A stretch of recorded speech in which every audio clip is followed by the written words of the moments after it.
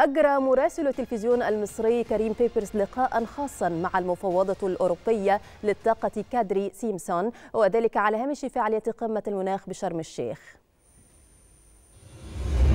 ضمن فعاليات كوب 27 كما ذكرنا سابقا هي الاتفاقيات المشتركة وتوقيع أيضا هذه الاتفاقيات بين الدول. ومصر وقعت اليوم عدة اتفاقيات ومن أهمها الاتفاق الخاص بالاتحاد الأوروبي والتمويلات المختلفة للهيدروجين الأخضر. نتحدث عن هذه الاتفاقية معي الآن المفوضية الأوروبية للطاقة مس كادري سامسون Thank you for joining us on Channel 1 We're talking about شكرا لوجود سيادتكم معنا. نتحدث اليوم عن أحد أهم الاتفاقات تمت فيما يتعلق بالهيدروجين الأخضر كيف تعتقدين أن هذه الاتفاقية سوف تغير الطريقة التي نتعامل بها مع التحول الأخضر هنا في مصر؟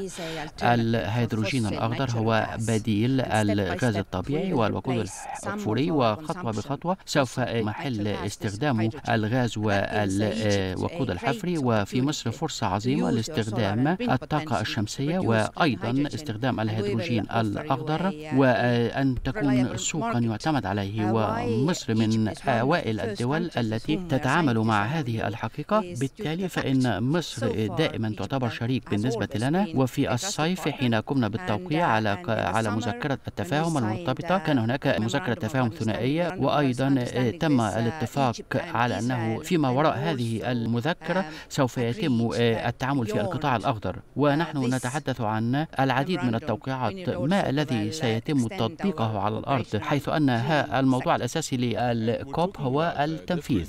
القضية الأساسية مرتبطة بالتنفيذ بالفعل وكيف يتم إنفاذ هذه الاتفاقات.